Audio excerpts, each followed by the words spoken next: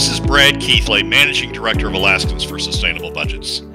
Welcome to the weekly top three, the top three things on our mind here at Alaskans for Sustainable Budgets for the week of May 6th, 2019. The weekly top three is a regular segment on The Michael Dukes Show. The show broadcasts on Facebook Live and via streaming audio from the show's website weekdays from 6 to 8 a.m. I join Michael on the show each Tuesday morning from 6:20 to 7 a.m. for a discussion between the two of us about our three issues. We post the podcast of our discussion following the show on the Alaska for Sustainable Budgets Facebook, YouTube, and SoundCloud pages, and on my website at bgkeithley.com. You can find past episodes of the weekly top three also at the same locations. Keep in mind that in addition to these podcasts, during the week you also can follow and participate in the discussion with us of these and other issues affecting Alaska's fiscal and economic condition by following us on the Alaska for Sustainable Budgets Facebook page and through our posts on Twitter. This week, our top three issues are these. First, the question that those urging restored government spending, such as doctors and university supporters, to pick a couple that have made the papers in recent days, need to be asked. Second, how so called conservative Senator Chris Birch is urging his fellow legislators to ignore the law. And third, why none of the so called spending caps, neither the governors nor the legislatures, work actually to match spending to revenues. And now, let's join Michael is Brad Keithley, Alaskans for a Sustainable Budget. He is uh, a former oil and gas consult attorney and all around good guy. He comes in every week to talk with us about what we call his weekly top three. And those are the big three items that are uh, that he thinks we should be paying attention to as Alaskans. And uh, again, like I said, he obviously wants to see my blood boil because he wants to revisit the whole doctor thing from yesterday uh, as number one. Good morning, Brad Keithley. How are you, my friend? Michael, I'm doing great. Yeah, I just I uh, I, I didn't really realize when I put that down uh, or when I put that on the list that it was going to uh, be a repeat of your of your segment uh, last segment yesterday. But it's uh it's it's worth going over again. Oh, I'm sure it is. Yes, yes. Brad is gleefully cackling in the background. No, I mean I'll be honest with you, Brad. I'm I'm glad you brought it up because uh, again I ran the clock out yesterday on this topic, and I will say I will say a couple things before you run into it. And and first and foremost, it is this idea that obviously is permeating a big slice of the population in that room, which is essentially government knows better than you how to spend your money. Oh, you poor, poor, pitiful children. If you, Governor, really knew what was good for all of these people, you would take this money from them that they would use to spend on big screen TVs and snow machines. You would see fit to take that money and put it into their health care, which is probably one of the most insulting comments I've ever heard, uh, you know, directed towards the public at large. Take it away, Brad Keithley. Well, you, uh, I mean, you you analyzed it correctly. It's not it's not really put it into healthcare. It's really put it into our pockets, into the into the into the medical industry's pockets. Right. Um, is is what's going on. I mean, that was a special interest group every bit as much as as a university special interest group or as a as a K through 12. You you certainly can, and they certainly do, paint these things in in in in very great uh, format about you know how it's really all about all about the kids or all about the healthcare or all about the university students.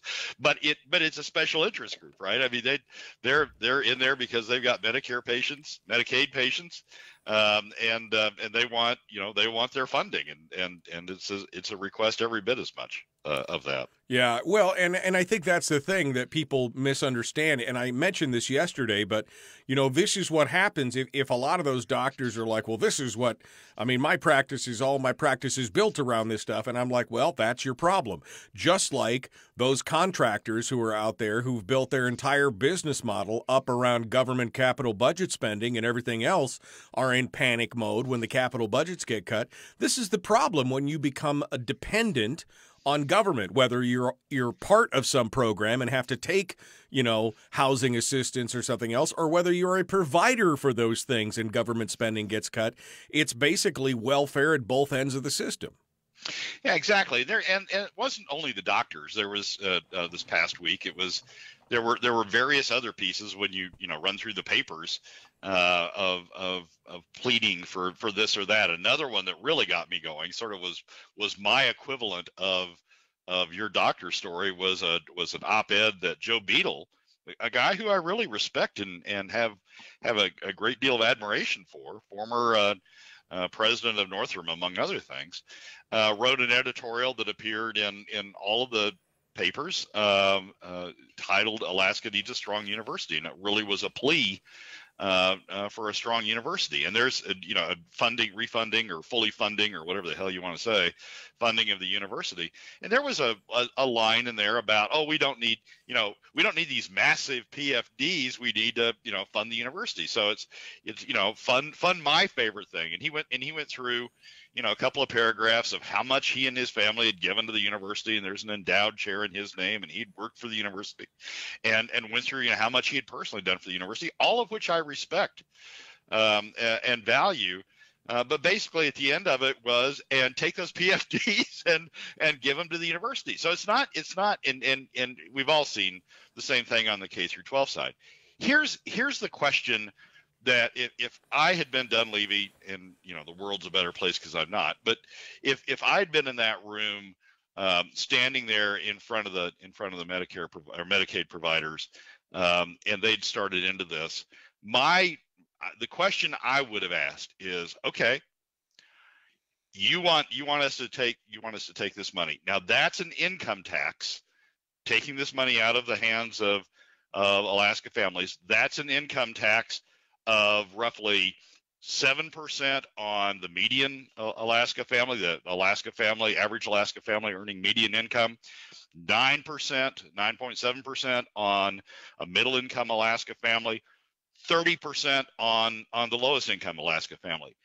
Are you prepared? Are you, you know, doctor so and so? Are you willing to pay a tax equal to that to do this funding, to, to, to fund to fund your business?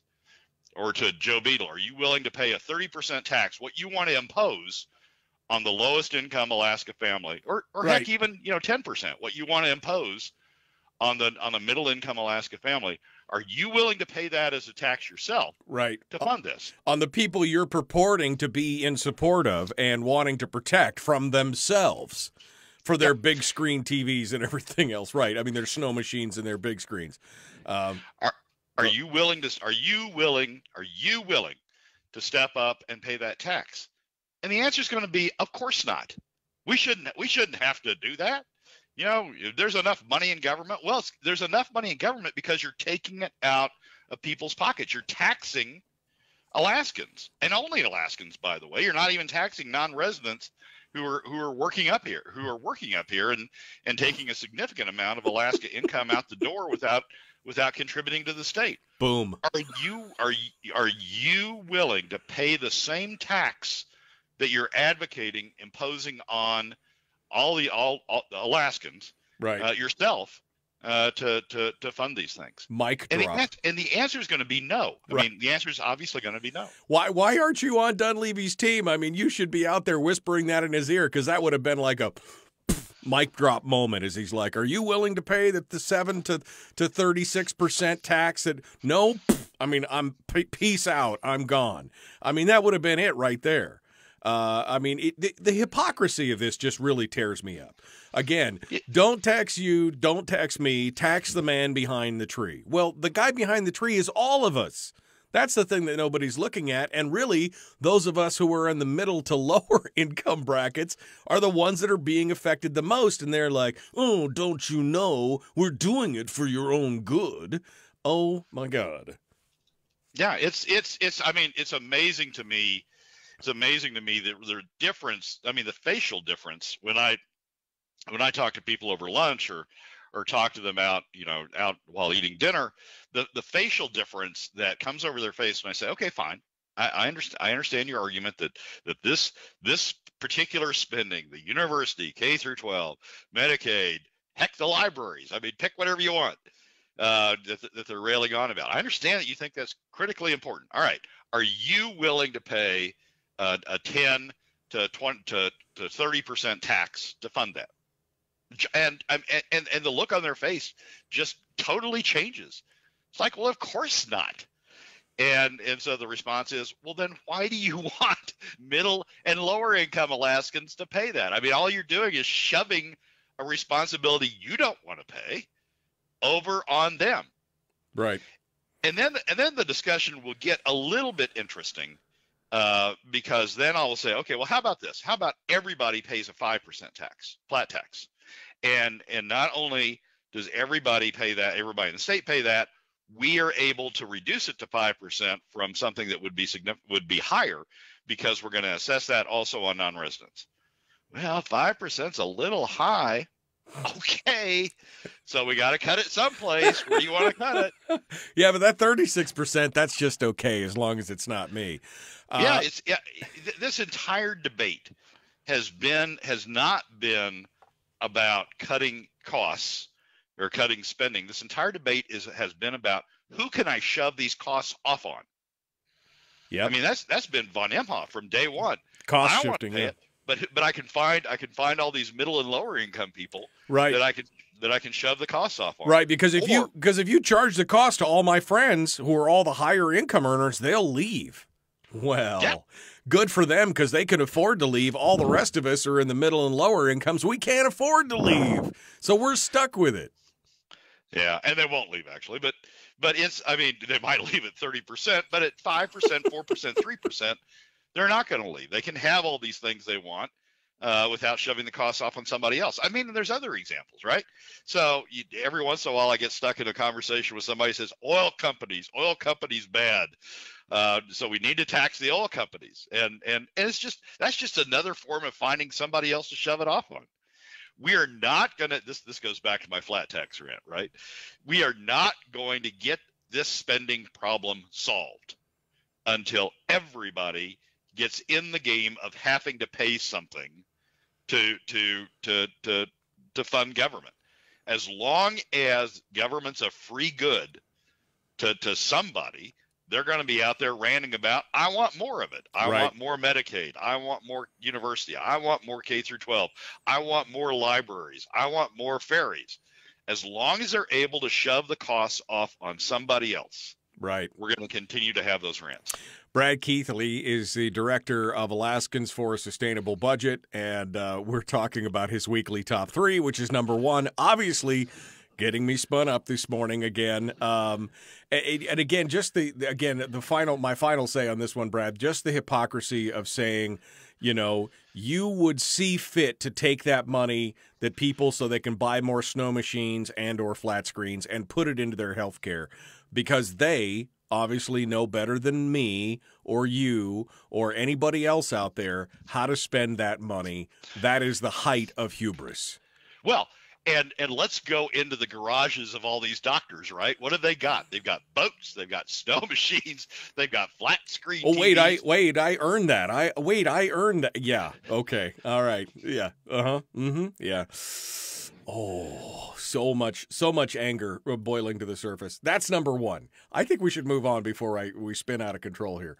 Uh, number two, number two of your weekly top. Was that anything else you wanted to add on that number one? Or are you are you done with that? No, it's just I'm, that's the question. Whenever you get into these conversations, that's the question. Are you willing to pay the same ten to thirty percent tax um, uh, to fund these things that you're trying to uh, push off on somebody else? Arming arming the listeners out there with more information the next time they get in an argument. That's the perfect one right there. Number two, it wasn't just the doctors. Obviously, we've got our own supposedly conservative senators who are out there saying, oh, no, you couldn't. That's way too much money for you. We need that. Senator Chris Birch had an opinion piece in the ADN talking about how, well, it's a dividend that Alaska can afford, even though uh, I love the fact that you posted a snapshot of the statute the other day. It says shall transfer, and they've completely and blatantly ignored that for their own whims. Chris Birch's opinion piece. Your thoughts? Well, it's it, it Birch is trying to upend as as has von Imhoff from the outset. They're trying to upend how how the statutory system works. Right? They're trying to say that the statute says that that the dividend is whatever's left over and and that that the entitlement um, and and the expectation of Alaskans ought to be that we're going to spend all the money we need for government, and then if we have some left over, uh, then we will trickle it down uh, in the form of a dividend. Um, and and the opinion piece basically goes through a, that analysis. It says the dividend is uh, the uh, the marginal spend uh, and that if we if there is a dividend, it ought to be it ought to be the part that's left over. The part that Alaska can afford is is the amount that's left over. That's just I mean what what what he says is K through 12 university uh, libraries uh, ferries everything else has has a priority over the dividend has a call over the dividend um, and that the dividend is the last thing in and so it, it's the thing that ought to be cut uh, the most. And and in in and Birch has said in the past that he thinks we're moving to a position where uh, we're gonna we're gonna lose the dividend entirely. We'll be talking in the third segment about how that occurs. But it's it's always it's always the last thing in. That's not how the statutory system works. The statutory system says there's a formula for K through 12. There's a formula for Medicaid um, and and you and and we ought to observe them and and there, there's a statutory formula that ought to be observed. And and and Birch is all right. He's fine with that. But when you get to the statute that governs the dividend he says oh no we ought to ignore that. It ought to be you know it ought to be something less. It ought to be whatever's left over. And and for a, a, a legislator to go out go around claiming that statutes can be ignored should be ignored it's an obligation to ignore them which is basically what he's saying is really, I mean, you, you, we're, we're governed by laws. We're supposed to be governed by laws, right? And and we now have a legislator saying out there, "Oh, just ignore the law, um, and and and pay whatever we have uh, left over uh, at the end."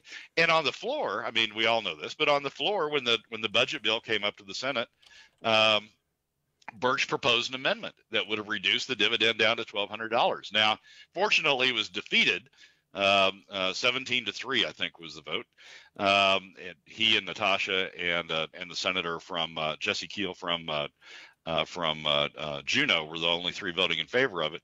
But he proposed a vote that would do that very thing in the face of the statute sitting out there. So it's right. I, you know, you, you can't claim you cannot claim to be a conservative if if you just you know blithely ignore the laws. You're either a nation of laws or we're not. We're a nation we're a nation of arbitrary, you know, get up in the morning and do whatever the hell you want to do. Um, and and Birch's Birch's attempt to subvert to reverse uh, the statutory uh, scheme, uh, I think, is just uh, is is disappointing uh, even when it, when it comes out of the mouth of somebody else, but it's certainly disappointing when it comes out of the mouth of a legislator. Brad Keithley is with Alaskans for a Sustainable Budget. Um, again, on our way out here, Brad, we're still talking about number two, but I'm going to read this, and it's up on the screen right now for folks who want to go back and watch the video. Alaska Statute AS 37.13.145, Section B. At the end of each fiscal year, the corporation, that's the Permanent Fund Corporation, shall transfer from the earnings Earnings Reserve account to the dividend fund established under statute 50% of the income available for distribution under the statute. It shall transfer 50%. says nothing about what's left over. It says shall transfer 50%. It is the law, but apparently only if you feel like it's really a suggestion. It is so blatant and so clear here that the legislature has decided. I mean, with the collusion of Governor Walker, I mean, he was really the one that that saw this, that took this opportunity, that moved it from DGF to UGF to count it as general income, and then gave them the political cover to do this. And of course, they had the opportunity to override. You, they could have overridden the governor's veto of the PFD to begin with, but there was just too many people in there. Many of them who remain here today who just believe that that oh they saw that that's just a big juicy pot of money. We need that. Yeah we need that we need that for government programs. Uh, we need to tax it. Uh, it's, it's sitting out there. I mean the thing about the pfd that, that really is sort of infuriating is it's it's individuals money under the statute. It's individuals money individual alaskans money that has to run through government hands on its way on its way to the individuals. Um, and and it's like your stockbroker, right? It's like your stockbroker. Um, the the the money you get from dividends and from and from various investments come through your stockbroker's hands on their on their way uh, to you, and it's like your and the state is acting like your stockbroker and saying, eh, yeah, you don't really need all that money that, that you've invested. Uh, you don't really need all that money that has your name on it. Uh, I'll just take a little bit of it. Oh, I'll take a little bit more. I'll take a little bit more.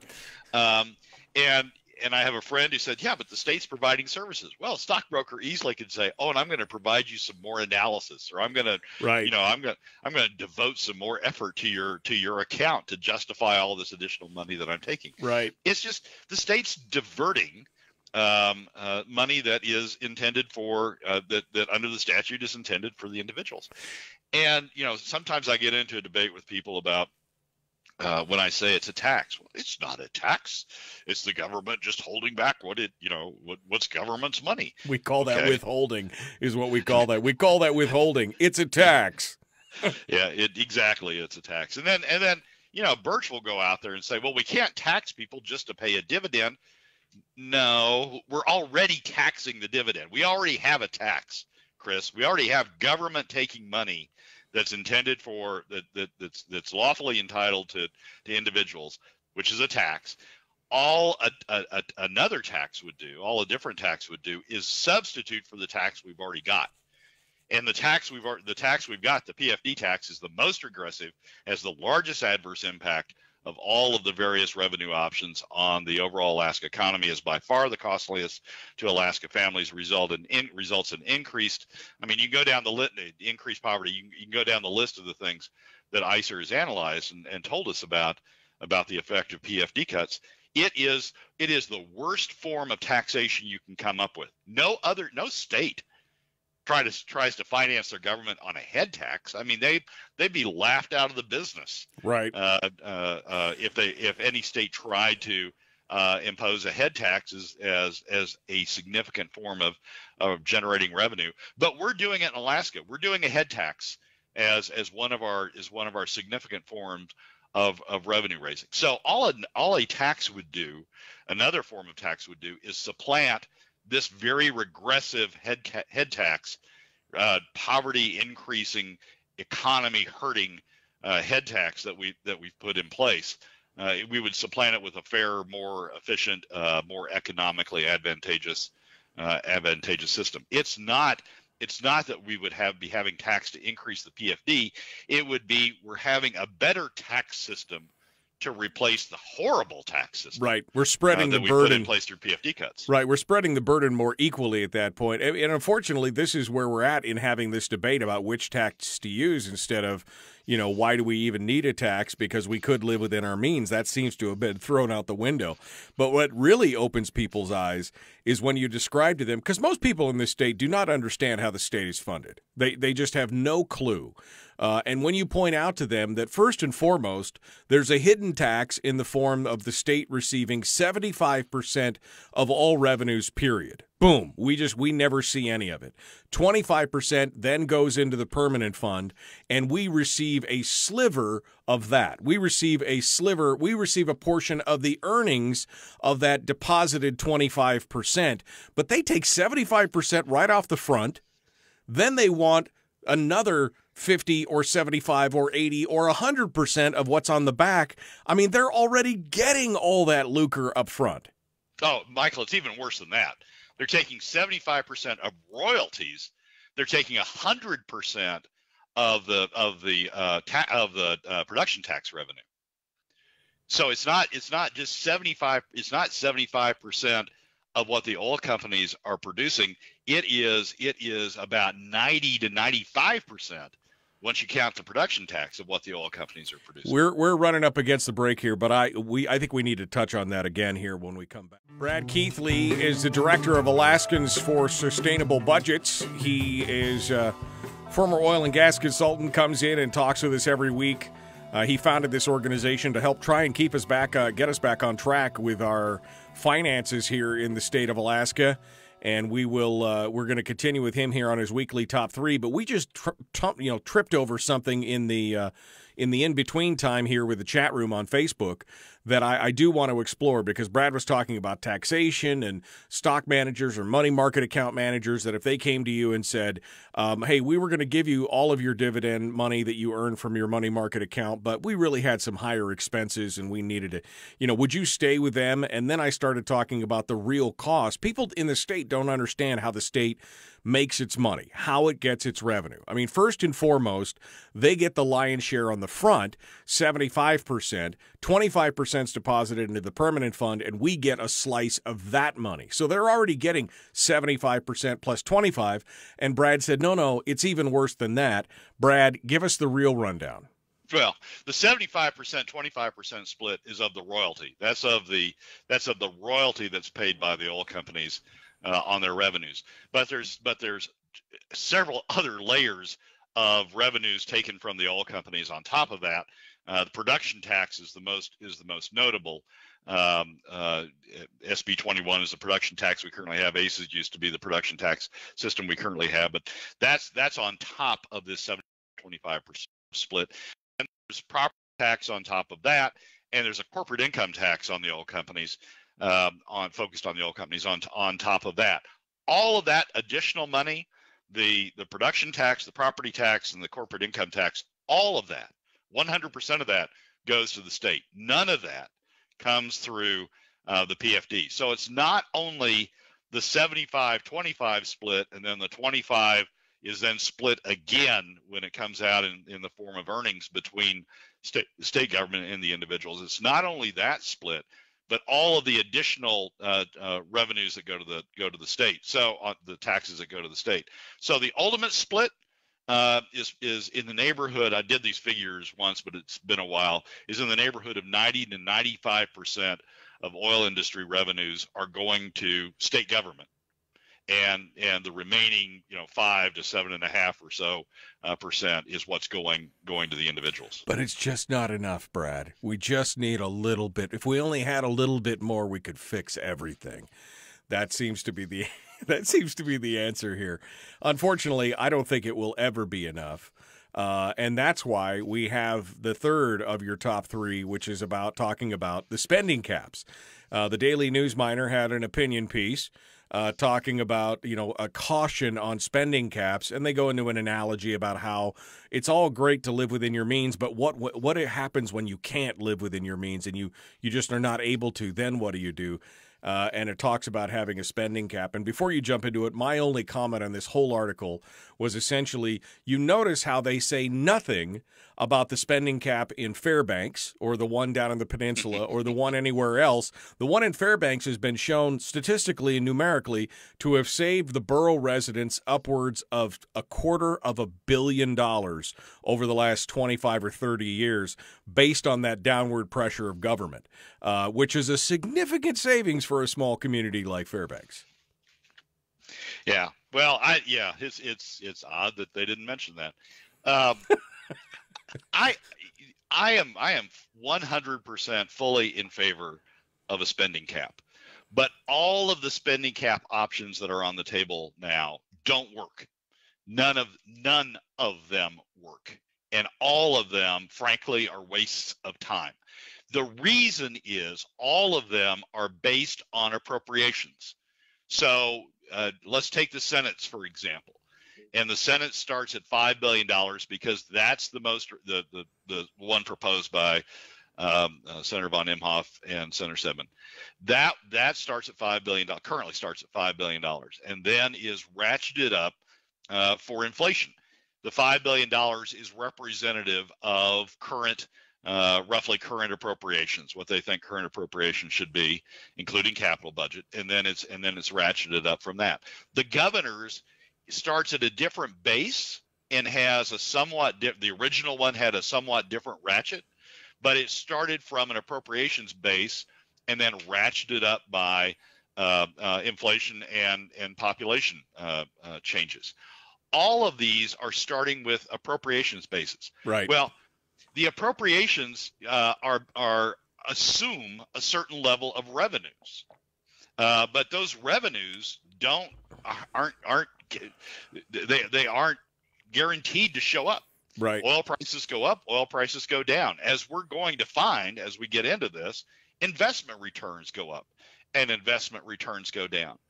The the spending caps by by starting them with appropriations and then ratcheting up, them up by inflation don't have any relationship, aren't maintaining any relationship to revenues.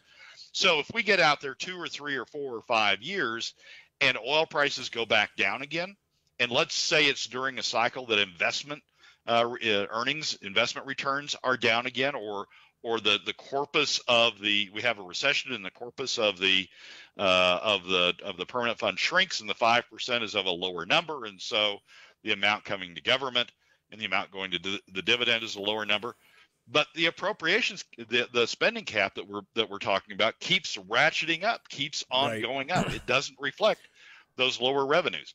So we're we're not really we're not really uh, in in these various spending caps we're not really capturing uh, what our revenues are going to be. Governor Dunleavy started uh, this session by talking about we're gonna match spending to revenues. Right. And then he and then he promptly proposed a spending cap that doesn't do that. Right. It seems antithetical. I mean, that was my first impression was that this seems really antithetical to what he was talking about in making our incomes and our outgoes all match up when you're doing this spending cap. Uh, none of the other spending caps are are you know kind of based on this. You have to have it based on if it's zero based budgeting, which is what he was kind of shooting for.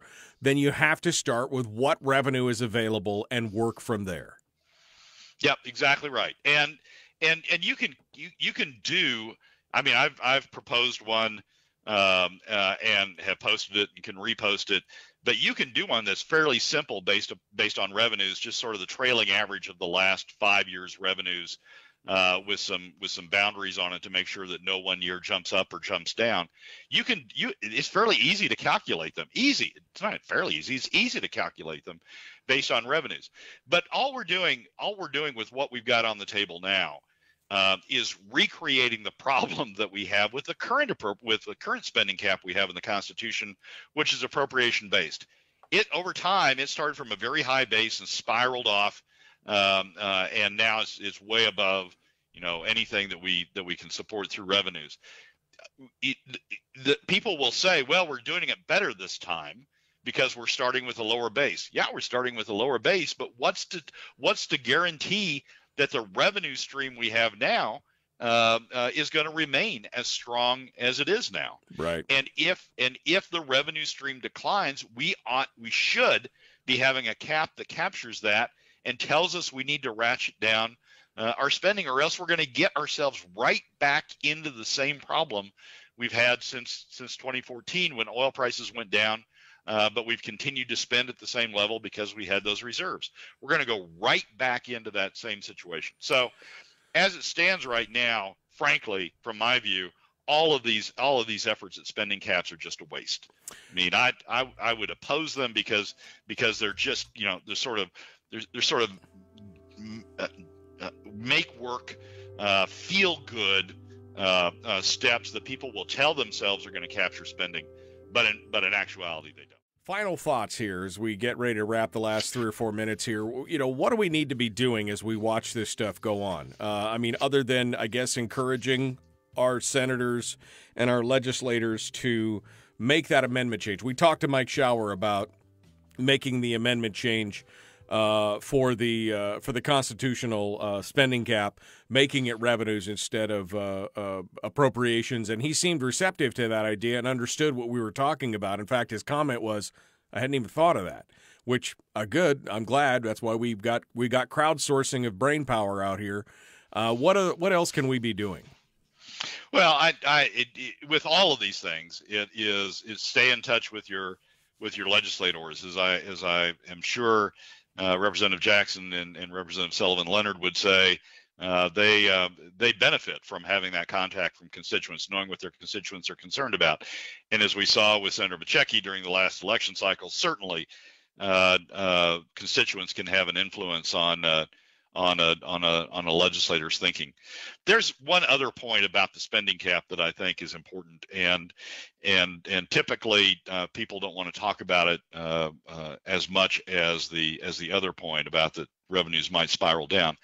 But spending caps um, can also essentially reduce the flexibility. Um, uh, appropriation-based spending caps can reduce the flexibility that people have to determine their own lives. Let's say 10 years from now that uh, uh, revenues have still stayed healthy, but but those who are here 10 years from now decide uh, in in in you know in in vote that they want to tax themselves, they want to increase revenue for a specific purpose, climate change. I mean, I mean, pick a pick an issue. Uh, they decide by vote that they want to uh, that they're willing to make contributions uh, in, for, in, the form of taxes to government and increase revenue. Well, an appropriations-based cap essentially would prevent them from doing that. If the appropriations are coming off the five billion dollar base uh, and they're they're ratcheting up, uh, the cap is ratcheting up only at the rate of inflation. If if if other revenues have sort of maintained track with that, the people 10 years from now would be prohibited, essentially prohibited from from raising additional revenues because they wouldn't the appropriations cap would prevent them from spending it. Now that's i mean we may we in this decade we in this generation may say oh that's okay that's fiscally conservative. We don't want them to spend it. But people get to make a choice right? I mean that's that's sort of the the fundamental concept of democracy. People get to make a choice. And if people 10 years 15 20 years from now want to make that choice to increase the amount of revenues that they're giving government. If that's what they decide to do, we should let them be able to do that. Right. Uh, we should we should not prevent them from doing that. Right. So and and an appropriations cap uh, would do that. Yeah, so I mean, I don't know if climate change was the favorite one, but you know, if you want to pick a library initiative or something out there that people really want to get behind and everybody can kind of do it, the problem is if they're bumping up against that appropriation limit, no soup for you sorry, can't do it because of all this other government spending we have, which again points us back to the idea that the revenue cap is the one that's the most sustainable in the long run. It is. It is. And it's the one it's the one that that I mean up or down, it's the one that reflects reality. Appropriation based caps just spin off on their own and I mean, you, you would hope that revenue, you would love that revenue would stay that stable and it would increase at, at the rate of inflation and everything would work fine and dandy. But revenue doesn't do that, particularly when you have a commodity based uh, uh, uh, uh, revenue system like we have in Alaska with, with oil and um, and and investment uh, income. It's going to be, you know, we're going to have ups and we're going to have downs. And if we don't have a cap that that works uh, during both of those, uh, then you know the cap's just going to be ignored, or it's going to is going to become uh, a, a, a, uh, uh, uh, an impediment uh, to making government work efficiently. Are you seeing any reaction? I mean, I know that you've been writing a lot. We've been talking a lot. I know that you get you repost our videos and everything else. Have you had any conversations with any legislators or movers or shakers down there as to the fact that we're making headway here? We got about ninety seconds. I uh, on on this issue, Senator Shower and has talked about it, uh, and I've talked to people in the administration. Uh, I I would hope as people get focused as we sort of move away from the budget and people start focusing on spending caps, that that conversation will get richer and deeper. Um, it, I'm I'm a little concerned that spending caps all of a sudden at the end of the session people grab up them grab them up and say oh we need to do this too um, and and throw them out there. That's why I'm raising the issue now. Um, but there are those in the administration that I talk to regularly that uh, uh, understand the point. I've worked I've worked on a proposal that would uh, uh, uh be a be a workable uh, revenue based cap, and I've given that to them. I've given that to Senator Shower. So, you know, hopefully it's part of the conversation when we when we when we get around to being focused on spending caps. I'm uh, the reason I'm talking about it now is I'm just concerned that at the end of the session people are going to grab it up as as a as a you know an add-on without really thinking about what they're doing. Right, exactly. The long term ramifications, which again seems to be our problem in this government this lack of long term thinking of that's fine for this year, but what happens five years or 10 years or 15 or 20 years down the road? It's the unintended consequences that always come back and bite us in the ass. And this is the problem with what we've had going on. And doing a last minute Charlie thing with this would not, uh, would not serve us well in that regard. Brad Keithley, Alaskans for Sustainable Budgets. Brad, as always, my friend, so good to talk with you. We appreciate you coming on board. Michael, as always, thanks for having me on. I appreciate well, that's a wrap for another week's edition of the weekly top three from Alaskans for Sustainable Budgets. Thank you again for joining us. Remember that you can find past episodes on our YouTube and SoundCloud pages, and keep track of us during the week on Facebook and Twitter. This has been Brad Keithley, Managing Director of Alaskans for Sustainable Budgets. We look forward to you joining us again next week on the weekly top three.